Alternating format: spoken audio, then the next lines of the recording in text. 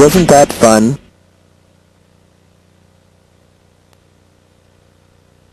So, yeah, I had to do that. Got forced to do that. Good morning, everyone. Um, I'm FX. This is FTR. And we're from Phenolate. Nobody can pronounce that. And we're talking about attacking networked embedded systems. All kinds of, actually. Um, yeah, what are we gonna do? It's like today's session over here. I can't see my screen, so I have to look over there all the time. Um, we're talking about design failures. Actually, FTR is going to cover some neat shit you can do with printers. Um, basically, complementary to Littleworth's talk yesterday. And we, of course, release some tools, so you guys have some fun. And um, yeah, after that, we talk about software vulnerabilities in embedded systems, get some examples out, and um, then run a tutorial how to root a Cisco. So I pass on to FTR. Thanks for that. Okay, first we have to define somehow what for us a embedded system is. And for the purpose of this speech, we think about an embedded system just as a small computer device running a custom OS which is used for one particular job and yeah it's actually something small doesn't need a keyboard or a screen or something like that and it's more fun if it has some kind of, of network connection so that we can play with it and we'll have some fun. Um, what are the most common problems within embedded systems? Um, obviously, since nobody is thinking about attacking them, the operating system itself covers lots of undocumented functionality which, which is still hidden and therefore normally developers leave back some backdoors from the beginning of the development and you can still access these functionalities and so you can play with the system and have some more fun and there are lots of different other features like how to do something functions what basically means you get a system out of the box and start it and it's getting from somewhere the configuration and therefore some kind of communication required and sometimes you can break into these protocols and have some fun with it. And finally, the biggest problem for the developers of these kinds of systems is that marketing comes up with a cool new feature that's required on a marketplace. Everything is fine, we're going to need this. And they enforce the developers to bring it out and bring it up and running and they develop it and the time frame was really short and really limited and so nobody is able to spend a thought on security and how the new feature impact the original design within this embedded system. Okay, let's have some examples. Um, our first example will be the Lucent Brick. Lucent Brick actually is a really cool, really neat, really cool, really neat, um, handy um, layer 2 firewall which is certified from the NSA and seems to be secure but it somehow it has some problem with the ARP functionality and what was the beamer over there? The beamer scan, okay we don't need it, we take that one for sure. Um, the ARP functionality in there has some really, really, really, important problems like um, at first the, the biggest problem is that all ARP traffic will be forwarded to any I hate that. Oh, thanks. Um, all ARP traffic from a brick um, through a brick is forwarded to any network segment this um, brick firewall is based on. And so with using knowing that um, ability, you can do an ARP sweep through the whole network and regardless what the firewall rule itself says. And that might be a big problem um, actually a firewall is supposed to block traffic in somehow and if, if you use the block, blocking feature as firewall rules and it's still forwarding traffic, I mean, what's the use in that? Um, the, next, the next problem in here is that you will be able to um, poisoning the ARP table, table itself. If you just send an ARP reply as is normal seen on a network, it will insert this entry into into the ARP table and replace the existing one. And therefore we have a cool example. The management server on top of the system thanks, is actually it's actually the heartbeat of the whole box. I mean, all configuration, all logging, everything is done on this and with this server. and therefore it's really needful. And if you send in a spoofed ARP reply with the IP address of that server and another MAC address, the brick firewall will insert this one into its own ARP table and will replace the, the, ARP, the MAC address from the management server. And, the, and you guess it, The solution, the result of this is yeah, the management server goes away and not longer available. And what that means for us is actually no logging, no more management. I mean, then that's when the fun begins, okay? I mean, this is one point, and it becomes harder since the whole since the whole ARP functionality is not stateful as it is supposed to be. You can send in tons of ARP replies, they never ask it for and it will fill up the ARP table. That means normally it's not a problem since the ARP cache is supposed to time out, but Lucent Brick Firewall doesn't even let the ARP cache time out, and so far you just fill up the ARP table till all the memory is exhausted and the machine crashes. And I think that's something different than I would expect from an NSA certified device.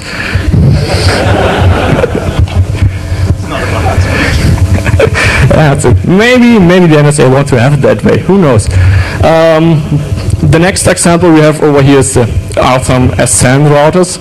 Um, the SN routers themselves uses an undocumented discovery protocol, which is sent to the discard port.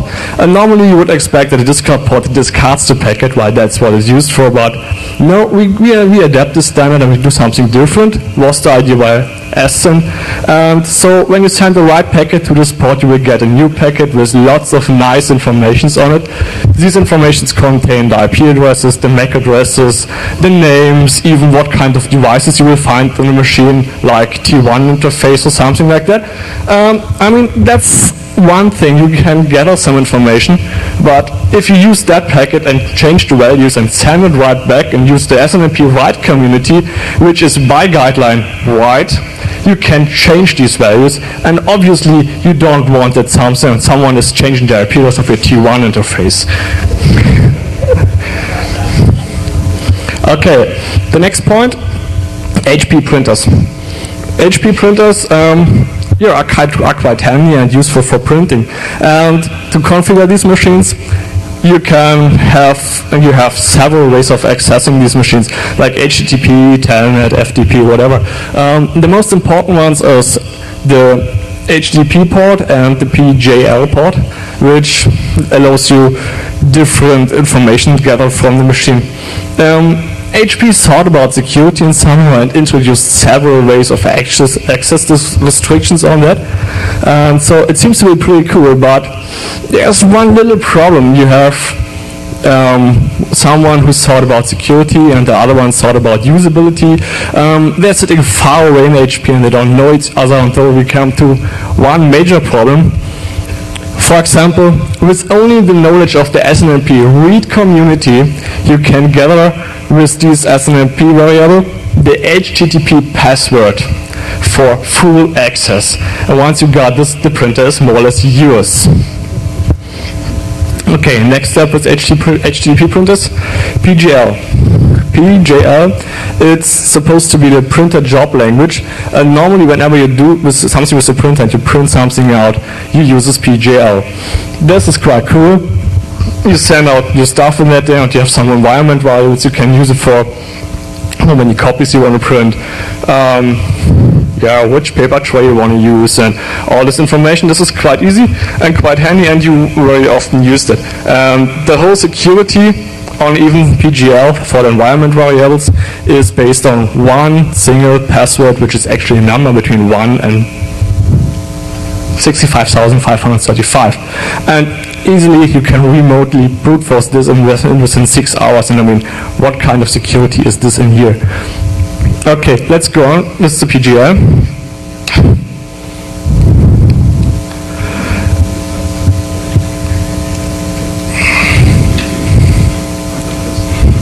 That's where I want to go to. Um, PGL also allows you access to the file system of the printer itself. I mean, it's a cool idea that the new printers Thanks. My fault.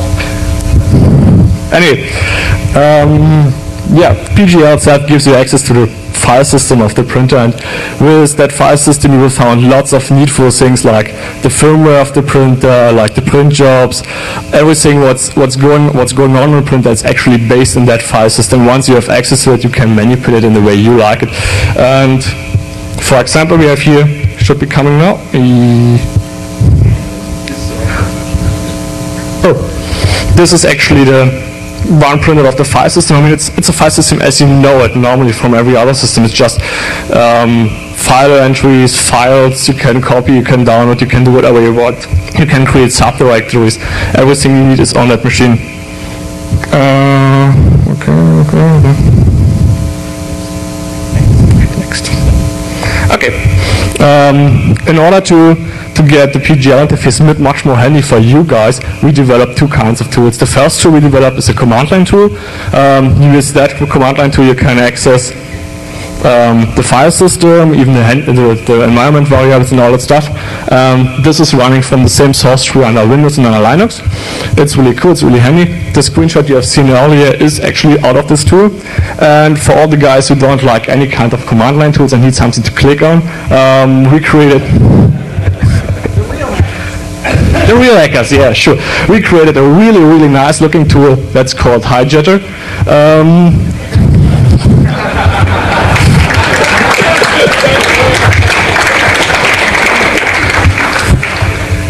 Okay, this is the basic interface. I mean, it's very complicated to use. You have to type in an IP address and the right port, which is more or less always the same, and just connect to the print, and then you will have access to the environment variables, the file system, or even the display. Um, for example, right here we have the file system. On the left-hand side you have your local system, and on the right-hand side you have the system of the printer. just to get sure that you know how to use this tool, okay? And as you can see there, you have um, the web server stuff, um, the firmware stuff, and everything you want to get on. Um, the second is just for setting environment variables. Um, then there's a third dialog for setting display messages. Um, one cool thing is we have done, and we, we um, really scared people with the following idea, just setting the environment variable for locking the printer panel so that nobody can go on the printer and switch um, ready or something like that and change the display message as a failure to insert coin. People get scared of that.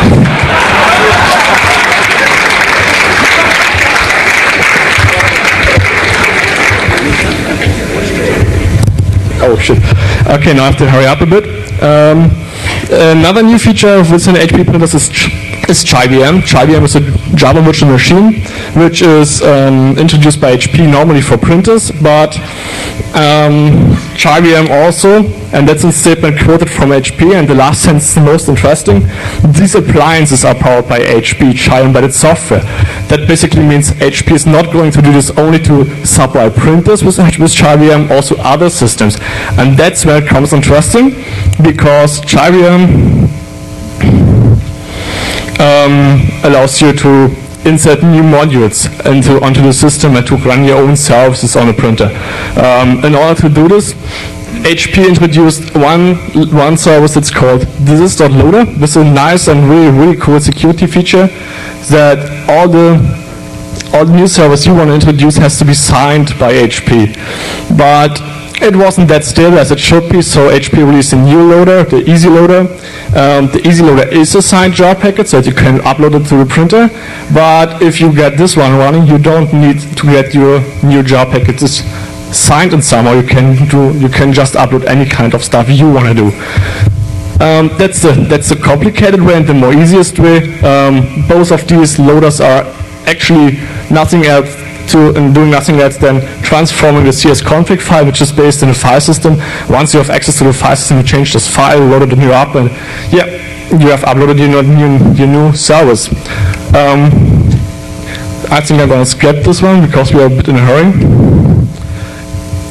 Anyway, as far as we have played with ChiVM, ChiVM is very stable. Um, we had real problems with the development environment you can get by HP and the real world.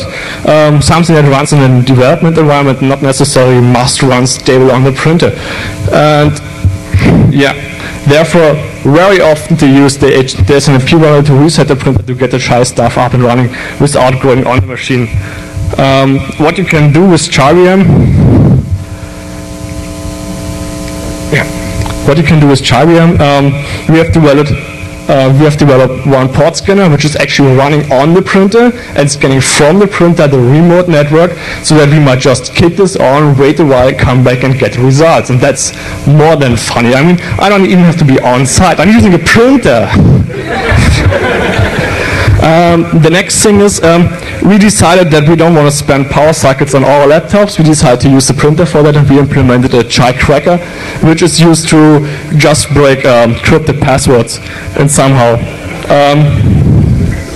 The summarization of that is everything you get running with Java and you get running on the printer, you can do with the printer. I mean, this is fun, isn't it? I mean, the printer is not anymore a printer, it's more, it's actually a full-powered machine you can play with. this is actually a screenshot from the from the um, crypt cracker running on the printer. And the last thing I want, I want to describe here is that there are already lots of nice services with Chai in the wild available. Um, the most interesting are two ones of them. The one is the notifier service. The notifier service um, enables you to get a notification when something nice is, is going on on a printer.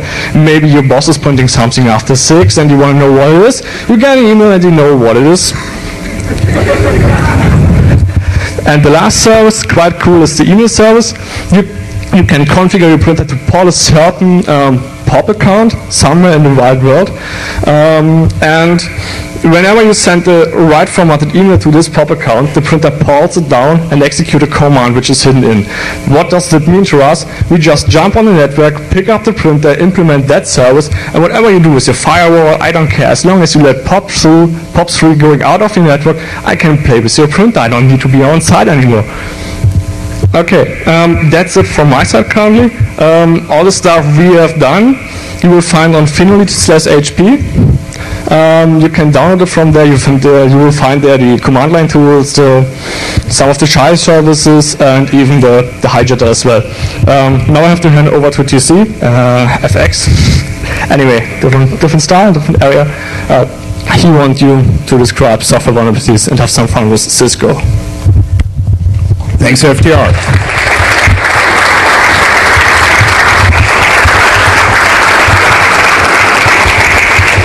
Hey, hey, hey, don't waste my time, okay? Um, software vulnerabilities. I mean, yeah. Huh? Uh, just try to figure out how to spell our website and then put slash HP on it. okay, software vulnerabilities. Um, well, embedded systems actually are just a bunch of code. So, and the guys who code it are just a bunch of um, developers. So um, they do the same faults like Windows and Unix coders do, which basically is like input validation. We all know that stuff. Format strings, especially in the logging code, it's real bad. Um, buffer overflows, well-known stuff. I mean, even some buffer overflows on embedded systems got published to Bugtraq. And yes, you can do cross-site scripting on it. Actually, the HP printers are one example. You just go in, enter some additional information, it will show up on the website. And of course, it's cross-site scriptable. So yeah, most embedded HTTP daemons I played with died within five minutes. And I never saw a rock-stable HTTP daemon for embedded systems. So yeah, summary, um, limited resources lead to the fact that the developers think, oh well, I skipped that check, I skipped that check, and the user is going to be nice. Buffer overflows. We have like four, just for starters. Um, ZDR routers, quite nice routers. Today, a Lucent product. Um, actually pretty good routers. And they have an HTTP daemon. You do a long GET request, you crash the router. I mean, it's so plain simple. Brother network printer, same thing, but you don't actually have to do a long GET request. You just go to the brother printer, to the web page. It asks you for the administrator password. You put several 100 characters in, click submit, it dies. HP, they did a cool switch. Procore, um, Actually, that vulnerability is pretty neat because normally with SNMP write, you would really badly abuse the switch. No, you don't do that. you just fill that variable over here with 85 characters, and it doesn't die. No, it dies next time the admin tries to access the, the switch. That's like awesome. And of course, um, even like cigarette box size devices, and for the non-smokers, this is how a cigarette box looks like. Um, little print service hanging off printers, um, they actually have same vulnerabilities. You go to the print server, it asks you for a password, guess what you do? You put a bunch of A's in, you click submit, it dies, and it takes the printer with it. Um, that's actually how the device looks. I mean, it's innocent, isn't it? Yeah, common misconceptions. Stuff I always hear about exploiting embedded systems. It's like, it's so hard. It's way harder than writing a hack for Windows. Um, I mean, you really have to reverse engineer the full firmware to find out how it is going. And then you really need to know how the syscalls work and how the libraries are get in and all that. And basically the worst thing that can happen is the device crashes. You know what?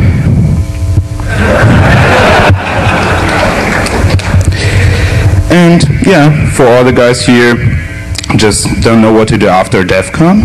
And to prove that wrong and make sure embedded system vendors actually understand that they should care about security and get some good coders, um, we're gonna do kind of tutorial on how write exploits for iOS.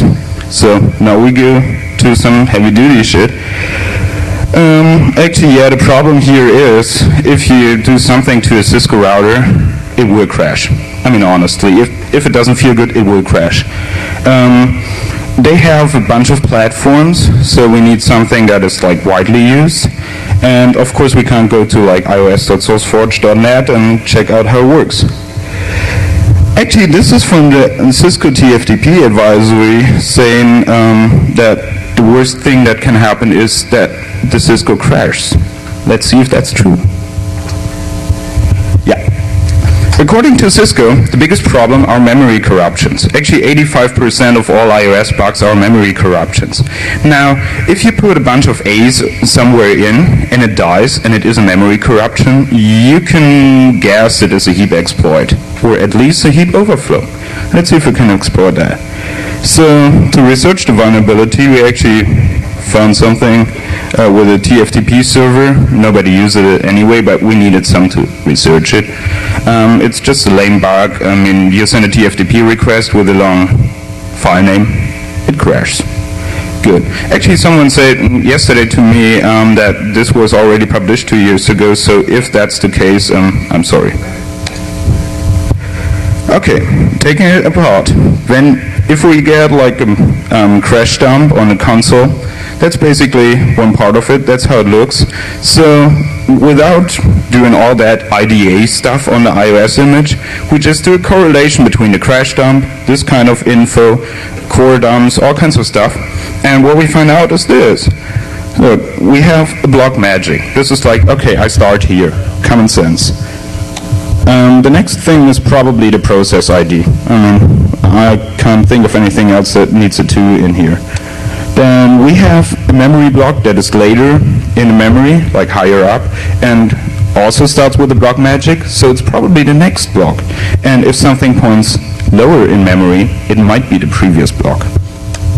And yeah, finally we have the size over there with a quite funny, uh, most significant bit which um, we found out is used for is that block in use or not. So um, again, going to Cisco's website, they're all verbose about it. Um, we check which memory addresses are used. Just to make sense of it, we check, oh here, these are the models we have in the lab, so, and of course we are most interested in the NVRAM, because it stores the config. So putting it together, um, that's basically how it looks. Oh, great, you don't even see the arrows. Um, yeah, let's do some laser pointer magic here. Um, we have the magic block, we have the PID, we have some addresses, I mean that's like serious overhead. Um, we have the next pointer, previous pointer, then we have size and usage, then we have some field that's mostly one. I don't really care about it, but it's called RFCNT for me, that sounds like reference count. And um, then we have a red zone that's basically a canary and makes sure that iOS catches it when it overflows the buffer. So, okay, what we plan to do here is we have that host block with our legitimate data. That's basically where we're sitting in. That's why we call it the host block. And what we try to do is we overflow it, and the next block after that um, also has a header. So we try to overflow it a way that we can influence that header here um, as intelligent as possible and hope that iOS makes some use of it and abuses it itself. That's basically how it's planned to work. So, what happens if iOS frees the memory block we just overrode? Um, basically, they have a double linked list. It's, yeah, pointing back and forward. I mean, everyone who knows how that goes, it's just two pointers, always pointing to the next and the previous block. And when it frees that, um, it will try to take out this block of the linked list, which is basically, yeah, that's the way it looks. Um, it's a common pointer exchange operation, and that's what we looked for. Oh, I'm actually burning the table here. Cool. FDR, could you like take care of that fire stuff over here? Thank you. So yeah, that's what we were looking for, and yeah, let's see if we can exploit that a bit. Um, but first we have to find out what iOS actually needs of that. And it's quite funny because if you look, that's red, that's red, that's red. Um, so what is the other stuff for? You usually have to buy new memory if you um, put a new iOS image on a router. Now you know why. Okay, so we have that magic block. Of course, that's checked. The PID and these RAM, RAM addresses here are not checked at all. I don't actually know what they are used for. Um, funny, the next pointer is not checked, but the previous pointer has to be 100% correct and the size field shouldn't contain any bullshit. So, um, and of course the red zone is checked so it finds out if it shit all over itself. But, you know what? Did you notice something? From here to here, we know everything. Or we can put in bogus values and it will not care. But one of the two pointers is used in a pointer operation. Let's take a Cisco we overflow it over here, put some stuff that's like the red zone from the last block, that's the magic beginning. We put some stuff in here, it doesn't really matter. Put an VRAM address over here, and on a 2500, the free, this pointer exchange operation will then write this previous pointer right into the NVRAM. The fun part is what happens if this happens. The device notices, oh fuck, I fucked up my memory. It's all toast. So safest thing to do, reboot. Um, we got all used of that. But it comes up and says, oops, config checksum wrong. So what am I gonna do? Either I sit here and be a useless piece of shit, or I go out on the network and ask for a config. Well,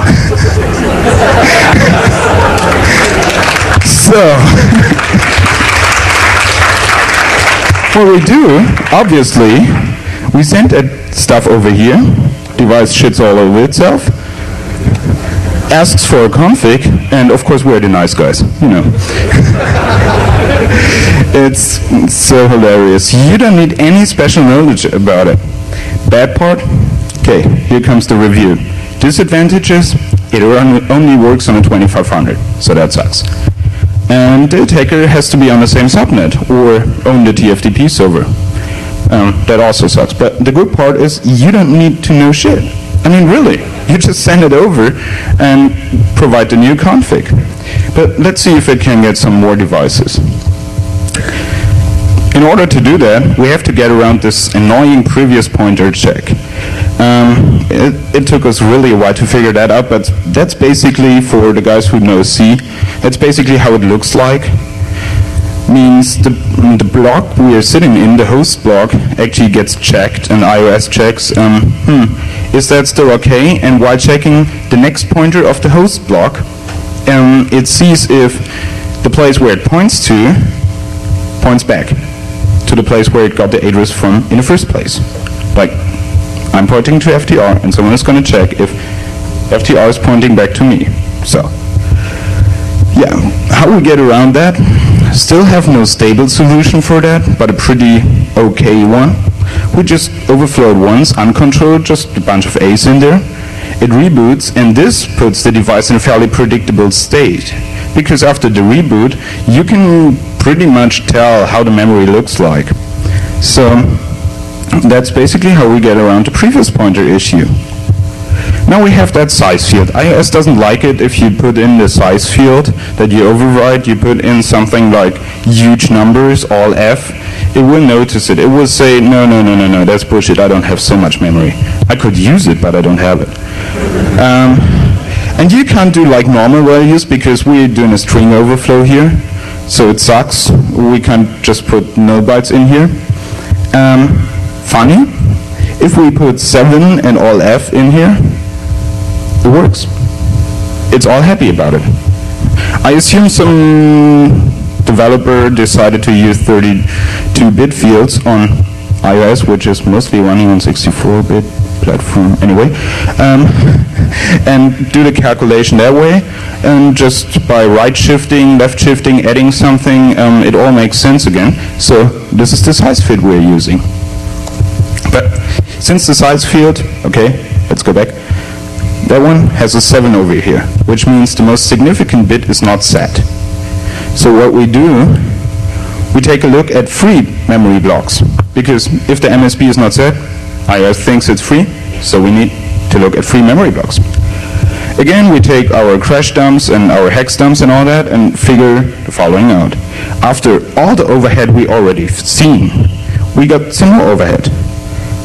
Another magic value over here, padding, more padding.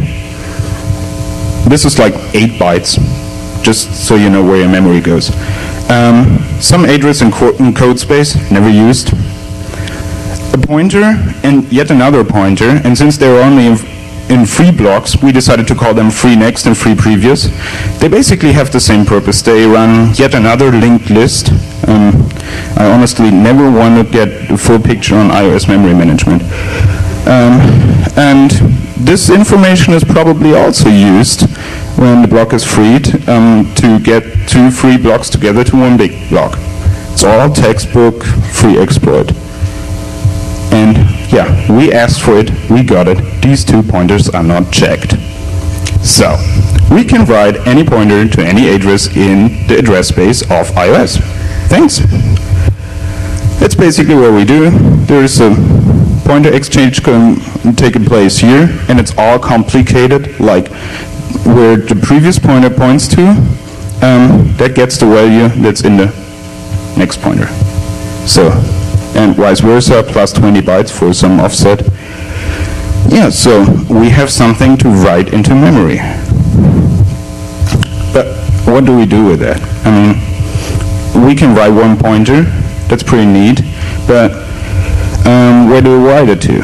There is, if you do like um, a show mem proc alloc, there is a place that's called process array. Hmm. It obviously is an array of addresses.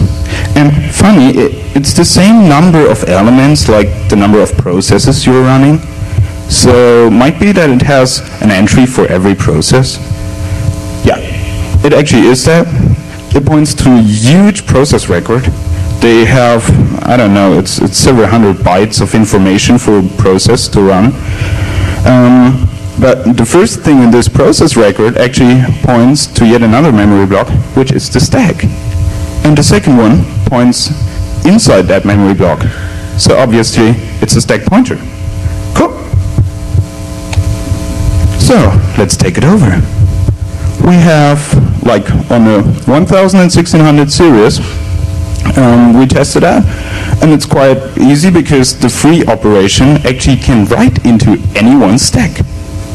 Every process you want. So you just pick one. Mostly you pick a process that's not running too often, but it's kicked off like once a minute. A good target, I figured, is load meter, because it doesn't do anything useful anyway, so. Um, yeah, and if you look at the stack here, that's like the saved stack pointer. and that's the saved return address. So everyone who ever wrote an exploit knows that we now have like 5,000 ways of exploiting that thing. By um, either overriding the return address straight ahead over here, overriding the stack pointer, um, and providing our own stack with the new return address, um, actually changing the whole stack pointer in that process array entry, or just replace the whole process array entry and provide our own. So yeah, we got we used the first one because it's like the most obvious. So next question, buffer. We need some buffer to store some code. And here's the bad news. If you overflow it and it thinks this is free and this one should be freed, it will actually erase the memory and override it by OD. Oh dear. Um, but actually, since the block we overflew is a free memory block, or yeah, we made it a free memory block, we don't care what it was before, um, we can have our exploit code in there. So, let's write some shellcode. Um, we have an example based on a Cisco 1600. It has that funny Motorola processor, which really got me because I never coded Motorola before. Um, the memory protection, according to Motorola's manual, is set in some base register. We found that base register after some serious um, wading through hex dumps over here on that address. Luckily, it has no zeros in it. Cool. Um, you can like disable that by changing the actually the second bit, changing it from one like protected memory to zero as in unprotected memory. And yeah, then write some invalid value into the NVRAM and get the device. Yeah, so that's what we do. See, that code is like not huge. I mean, that's the whole code. That's all you need. It's totally simple. It takes the address of that protection base register, does a right shift on it, because the next bit is actually zero, so it's nice to us. Um, we trick the address of the NVRAM in here, and um, yeah, then write some coffee babe stuff in there. So we got that NVRAM invalidated quite easily. What we actually did here to show um, how to get around pointer exchange things that work right in your shell code. This instruction over here, you see this 010101. Um, this is actually where the other pointer, it's an exchange. So yeah, give and take, as in you buy beer, I buy beer. So that's where the other pointer is stored. You just put some innocent opcode in here, get the data part overwritten, all set. Yeah, summary. You overflow once to get the predictable previous pointer, set all the stuff here, fire it up, and you have the same reaction, like it asks for a config. And that's how it looks like. Um, I took out the legal lala here. Um, yeah, it has some, some error later on, I don't care. Um, comes up, asks for the config, asks for another config, yeah, that's Cisco, and then you got the device. But you know, it still sucks. You still have to be on the same segment. So let's go on.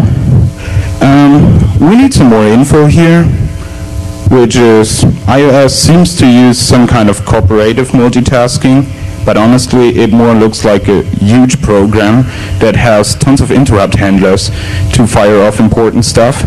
So um, it's not really task. I, I didn't find any task handler on it. There is no scheduling service or anything I'm aware of.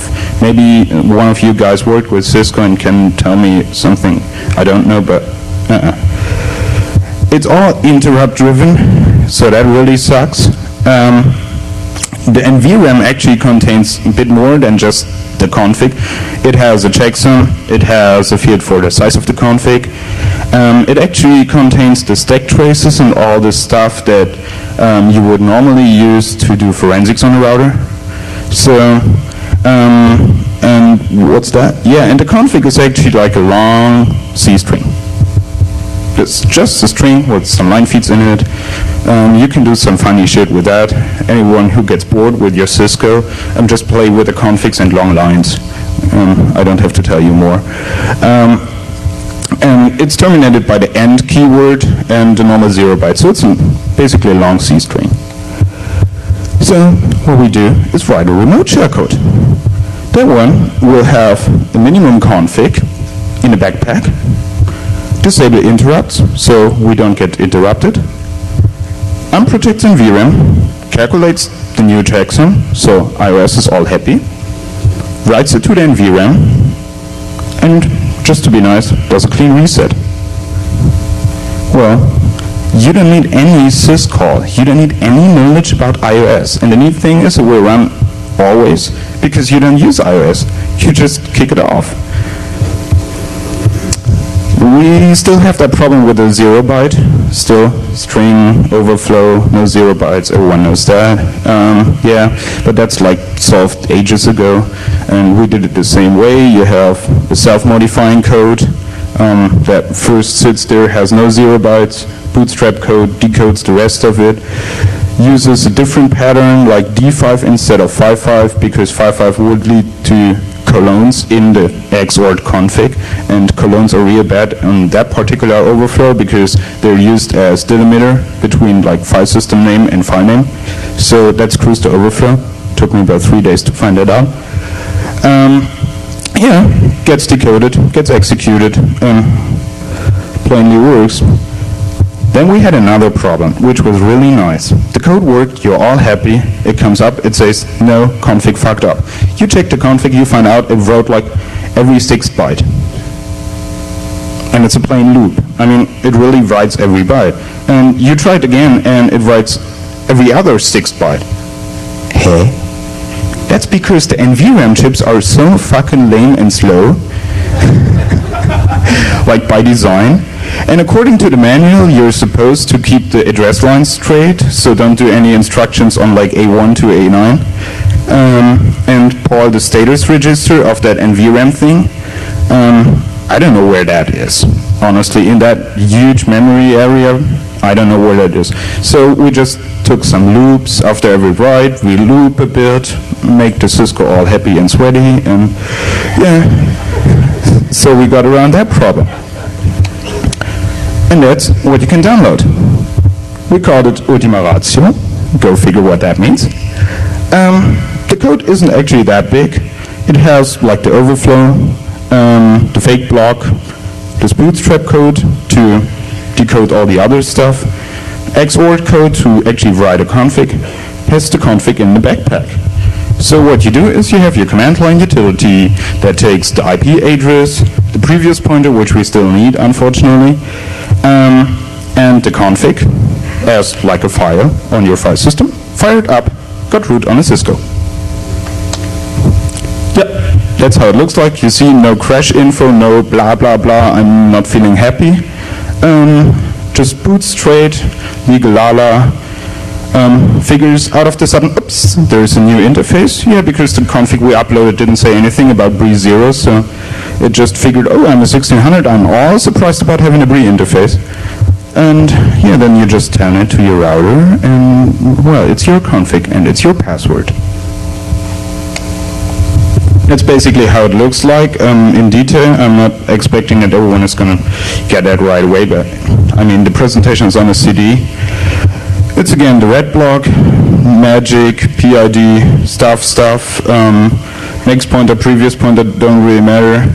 Um, that size field, that funny size field, this ref field over here, padding, um, free magic, more padding, actually total crap over here. Um, yeah, more padding, next pointer, previous pointer. This one is pointing to the code. This one is pointing to the stack. And here we go. And that's how the XOR code is. That's what we use. I mean, if some guys here really know Motorola coding, you might come up with something more decent than that. But it's, it's not too big. And you don't need any knowledge about iOS. I'm still putting a big emphasis on that one. Yeah, work to do. I mean, this is not like TSO SSH. This doesn't really, really work well if you don't have access like to the syslog host or um, in the lab you do it with the console on and stuff. Um, you don't like download it, fire it off and, and turn off Yahoo. That's not going to work. But um, I hope we showed that it works and I hope that these heap exploits actually um, were basically a wake-up call, but anyway. So what do we have to do? Um, we have to find differences. Um, if someone has a bug for um, 12.2 iOS, just come over, tell me, I buy you a bunch of beers for it. Um, we have the problem of smaller buffers. I mean, that buffer is just huge. It's 1,400 bytes, like full UDP packet. Um, we have to figure out how that works basically my idea is to send in the shellcode via CDP. Um, we have that previous pointer stack um, and, and, stack addresses. That's still a problem, but bear with us. We will come back to you and have a solution for that one. And, and VRAM config, we need some different shellcode, but that's like the easy part on it. We have to write to um, Flash instead of NVRAM to like take over GSRs. Um, we need some anti-forensics shellcode, but actually after I had some people telling me how they do forensics on a Cisco, um, I decided that's not going to be needed because nobody actually looks at the NVRAM when doing forensics on Cisco.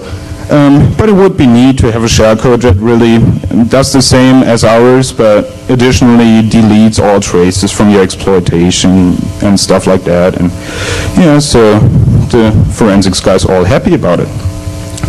And of course, um, real-time configuration modification code is like the next thing I'm going to do is a shellcode that goes over, um, removes all access list bindings, sets the passwords to something you might know, and reboots the device so you don't have to figure out which interfaces it has and stuff like that. Come on.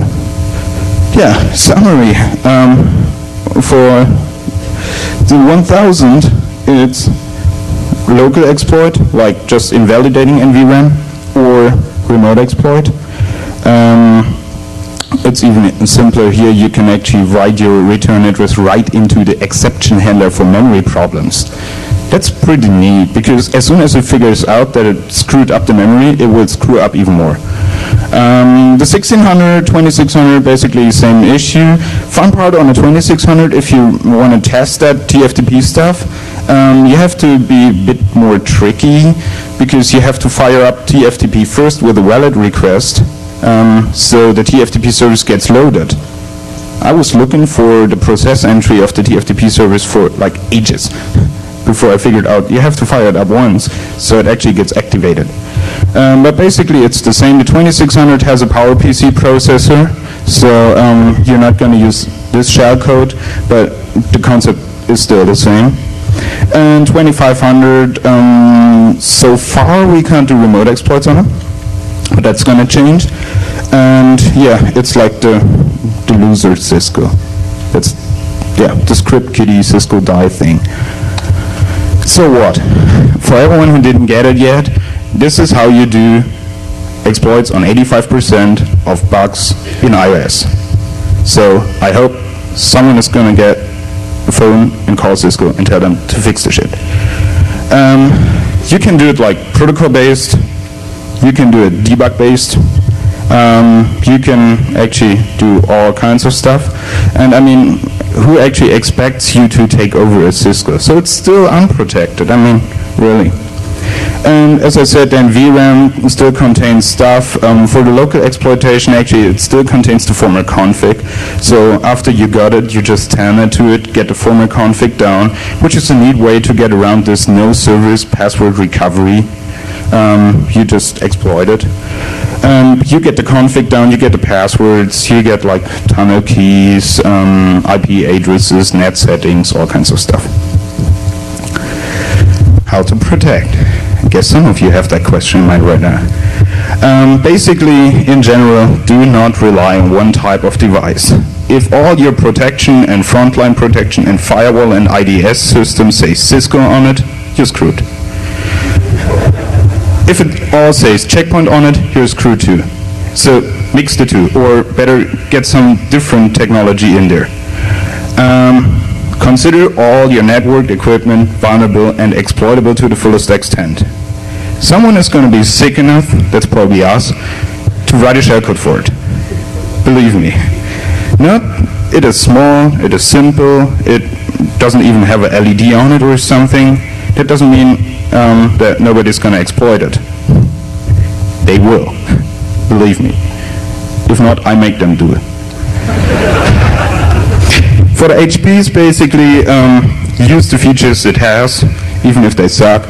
Um, assign an admin password, change SNMP read and write community, do the PGR protection, even if it, yeah, it gives you some time.